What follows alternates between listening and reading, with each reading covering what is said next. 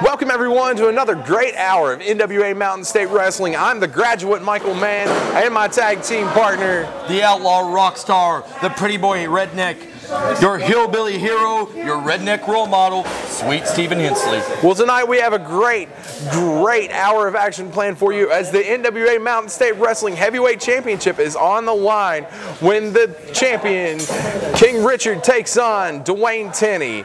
And we also have Carl facing the uh, the legit hit Brian Kyle. There we go, your buddy, your buddy. I had to let you say your buddy's name. Proud to call him my friend, thank you. Yeah, good. Okay, well, we'll be right back after a word of how you can get NWA Mountain State Wrestling to your hometown. This is Commissioner Larry Light. If you'd like to see the great TV stars of NWA Mountain State Wrestling come to your town, give us a call at area code 304-673-2054 or check us out on the web at mountainstatewrestling.com. Diablo Jr. walking around the ring there may want to take his time right now. I certainly wouldn't be eager to step through the ropes face my executioner, the Bulldozer, if I was the junior heavyweight champion and one half of the world tag team champions. Yes, he has a lot of accolades, but he's giving up so much size in this contest that I can't believe that there are good things in store for him at the end of this night. Well, with size comes speed. So we'll have to see. We'll go up to Jonathan Styles. First, from the wrecking yard in Detroit, Michigan, at 450 pounds, the self-proclaimed biggest man in wrestling, Bulldozer! One big tough customer there. And you get to see the ring literally, literally shaking under his feet. A bulldozer just tearing these kids up in the crowd. I don't get the point of that. You can't even hear the ring introduction right now over the jeers, over the disrespect of the fans for the bulldozer. But once again, as I said, week in, week out, the respect of the fans won't secure a victory. There's Diablo Jr. just got announced, and he seems to be getting a pretty good ovation. So we'll just see when the match starts what's going on.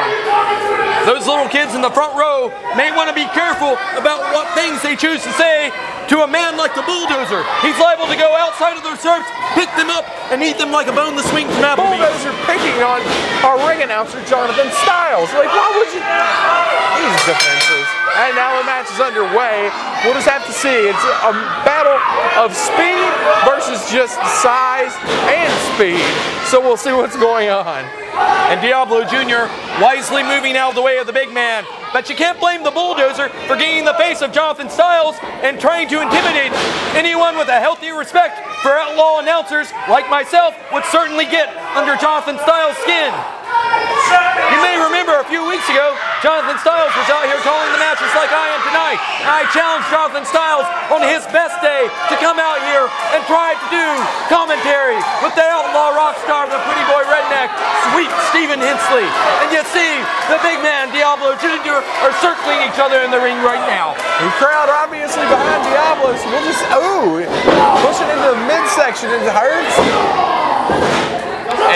That was certainly not the best move you could have chosen to go with there, Diablo. Ooh, Diablo. And a shoulder block attempt by Diablo Jr. on the bulldozer. Are you kidding me?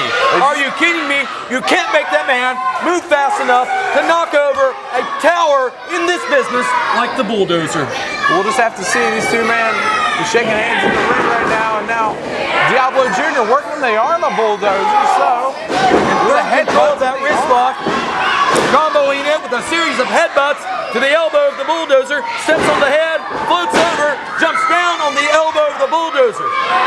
You know, Diablo Jr. is using his using his mind right now because he's working on that arm, trying to get that, some of the strength out of it. Certainly trying to use that technical skill, that mount wrestling ability that he has, coupled with his speed and his agility. It's going to take everything, everything Diablo Jr. has to win a contest like this against a man who has that much of a size advantage over him.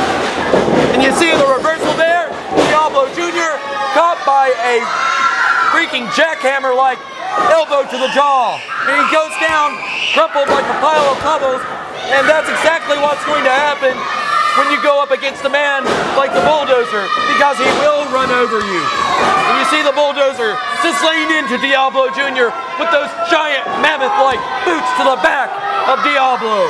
Picks him up, holding him up in the air, letting him get disoriented as the blood flows through his brain, slams him down to the mat and the cover. two, and a kick out by Diablo Jr. And you see Bulldozer cutting off the flow of air to Diablo Jr. And Bull- Bulldozer just hammering away with that stiff shot to the head of Diablo Jr. And now Diablo Jr. with a shoulder block. Oh, into the big man, trying to get himself out of that corner. Headbutts, and now the roles are reversed. And Bulldozer reversal back into the turnbuckle and just absolutely frees Diablo Jr. down to the mat. And you can see those shots, those forearm blows by Diablo Jr. to the bulldozer, were every bit as effective as a fly's wings grazing the side semi truck. Well, we go for pinfall one, two, and a kick out by Diablo Jr. Going back to the pinfall, two, and another kick out. And you see the bulldozer just putting all of his weight on top of Diablo Jr., barely doing anything here except making use of the distinct size advantage that he has over his opponent. He doesn't have to do a lot of work, he just has to keep himself in the right position. That headbutt, you know, it rocked Diablo Jr., but it looked like it hurt the big man a little bit as well. Well, you may think that hurt the big man as well, and anytime you use the full momentum at your disposal to use your head as a weapon against your opponent, yes, you do risk causing damage to yourself, but you have to remember he was the one that was in control when he delivered it, and as you see now, firmly still in control, backbreaker, and now just bending Diablo Jr. over his back, trying to snap him in half. Huge uh, huge elbow smash right to the midsection while he's down in that backbreaker position. And it just looks at how long can the man hold out like this. But now Diablo Jr. putting a little fight back into it, and he gets the hold broken. So now both men, both men, it looks like this match is taking a toll on both men. Clothesline by Bulldozer and knocks Diablo Jr. to the mat. And it's like I was saying earlier, a man Diablo size against a man Bulldozer size. Yes, he may get those shots in, but you have to remember how much power he has against a man like the Bulldozer. Those shots aren't nearly as effective as they would be under normal circumstances. He might get them in, he might catch a glancing blow, but it's going to take a whole lot more than striking blows by Diablo Jr. to put down the Bulldozer. He's got to come at him with a new game strategy. Otherwise, the Bulldozer is literally, literally, as his name says, bulldoze right over top of Diablo Jr. This man holds two titles in NWA Mountain State Wrestling. You can't withstand the fact and see that's the intelligence. He rolls him up and gets a two count right there. Well, it's wonderful that he can hold two titles in Mountain State Wrestling and go up against the Bulldozer.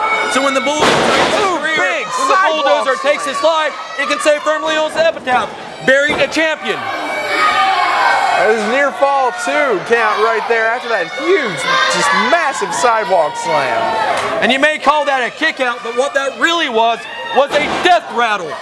A death rattle by Diablo Jr., who is clearly, clearly not in control of this match and needs, needs, needs to be taken out of this situation. He's working on the back once again. Going back to the back is Bulldozer, the big man. Showing some mat wrestling skills, and we'll just have to see how it goes from here. That's right, he's just driving that knee into the upper back of Diablo. But as soon as we start talking about the mat wrestling maneuver, Diablo Jr. firing back with elbows to the midsection and a gigantic body slam by the bulldozer. Good night, Irene. I oh. can't believe he kicked out of that. What, what, what is Diablo Jr. thinking here? His junior heavyweight title isn't on the line. The tag team title isn't on the line. He's not going to pick up the victory. He might as well lay down there, let the big man go ahead and pin his shoulders to the mat so he can go home and roast up to defend the titles that he has. Because this is not, this is not a winning situation for Diablo. Any situation's a winning situation. You have to win the matches. It just makes you look better. That's why he's doing it. He's doing it for his credibility in the business. He might be doing it for a number of reasons, but at the end of the night, when he walks into the back and he can barely hold himself up anymore because he's been reduced to a pile of rubble by the bulldozer, it's not going to matter why he did it. The only thing that's going to matter is that the bulldozer won the match, the bulldozer hurt him bad, and he will not be in shape for title defenses. Well, now Bulldozer going after Diablo Jr. on the outside. And you see those blows to the back, and that has got to feel like a hammer against an anvil. The kid, the kids in the crowd getting into Di- or to Bulldozer's head a little bit.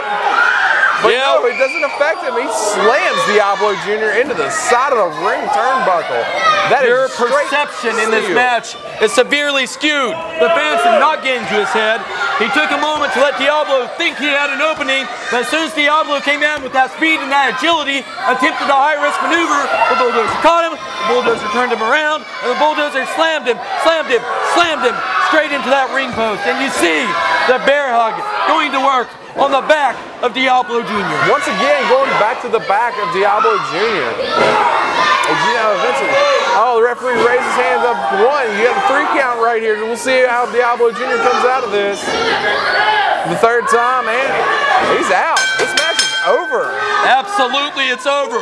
I told you from the beginning, speed and agility versus a wrecking Oh, machine like the bulldozer is not There's his intelligent. Tag team partner coming to make the save. And what's A cheap shot by Tenny. This is a contest between two grown men, and Tenny, Tenny feels like he needs to come out here and make his mark on this match when he wasn't even involved. That wasn't a cheap shot. He was saving his tag team partner. If he wanted to save his partner, he should have kept him from walking And through what the is curtain. Bulldozer doing? Shoving an official of NWA Mountain State. Look at the reckoning, knocking out the Bulldozer. And you see the referee trying to separate these two giants in the ring. I don't know that that's an intelligent decision at all. And you see Tenny looking at the bulldozer. He may want to go over and see if his partner even has a pulse at this point. And the bulldozer's just daring him, daring him, daring him to walk past the referee and confront him. What a great match we just had. What a big and agile man is the bulldozer. Who can stop him if anybody, if anybody can? Now let's go to some words from the big man, followed by some words from our sponsors. Once again, another victim. Diablo Jr., that was too easy. Dwayne Tenney, you want to get in my way? Next time, you're going to be like what your little partner was. And that's incapacitated. Because Bulldozer crushes all.